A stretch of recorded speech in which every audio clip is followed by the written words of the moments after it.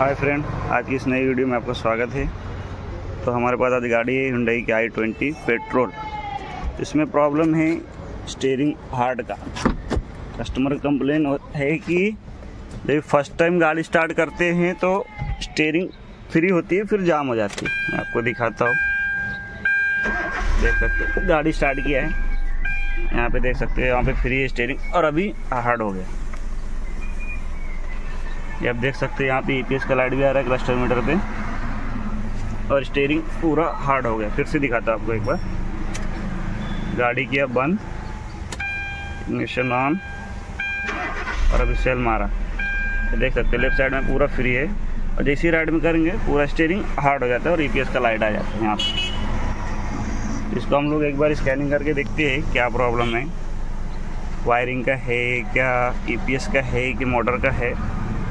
उसके बाद मालूम पड़ेगा अपने को। यहाँ पे मैंने स्कैनर लगा दिया है, आप देख सकते हैं। यहाँ पे करेंगे स्कैनिंग।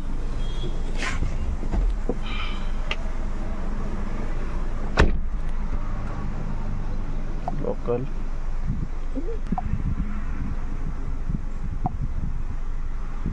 यहाँ पे हाल में जाके हिंडई में सिलेक्ट करेंगे। हिंडई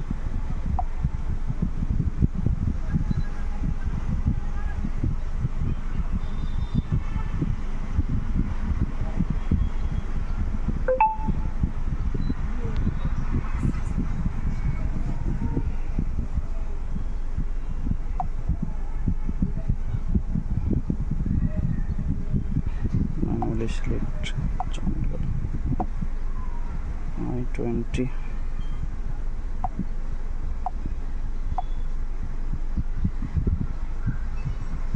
तो इंजन में एक बार चेक करते हैं इंजन में कुछ प्रॉब्लम है। इसमें नो ट्रबल कोड है। ईपीएस में चेक करते हैं अपन एक बार। ईपीएस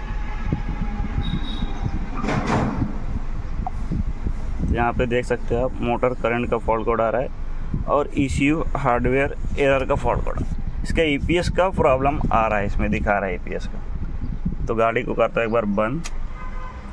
तो करता हूँ एक बार क्लियर करके देखते फॉल्ट को चाप में था क्या? यहाँ पे ओके यहाँ पे हो गया क्लियर वापस एक बार स्टार्ट करते हैं।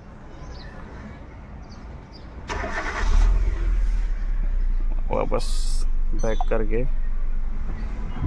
स्टेयरिंग वापस हार्ड हो गया, फिर से रीड करते हैं। यहाँ पे देख सकते हैं आप सेम फॉल्ट कोड आ रहा है। तो इसमें एक बार हम लोग मोटर में करंट चेक करते हैं, क्या मोटर का इशू है, क्या करंट का इशू है, मालूम पड़ा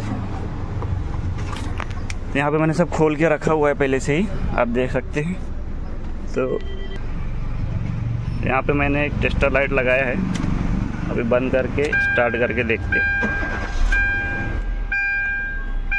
अभी स्टेयरिंग थोड़ा टर्न करता हूँ। करंट नहीं आ रहा है। ईपीएस मोटर को करंट नहीं दे रहा है। देख सकते हो आप, मैं स्टेयरिंग घुमा रहा हूँ। ऐसे स्टेयरिंग घुमाने पे करंट आना चाहिए। अगर करंट आ आ रहा है तो अपना मोटर का इशू है। मतलब करंट नहीं आ रहा है तो अपन इसको एक बार ईपीएस डाल के दूसरा देखते यहाँ पे देख सकते हो, मैंने रनिंग गाड़ी का दूसरा ईपीएस लगाया और जो गाड़ी का है, वो यहाँ पे लगा हुआ है। ये देख सकते हो ये, मैंने दूसरा ईपीएस लगाया तो अभी स्टार्ट करके देखते गाड़ी में। प्रॉब्लम सॉल्व हुआ है कि नहीं? चाबी को किया ऑन स्टार्ट किया। अभी आप देख सकते हो स्टेयरिंग एकदम फ्री हो गया।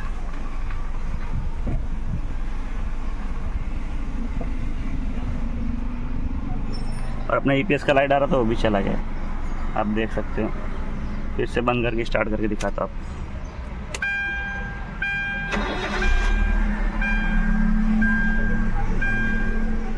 स्टेयरिंग अपना एकदम फ्री हो गया।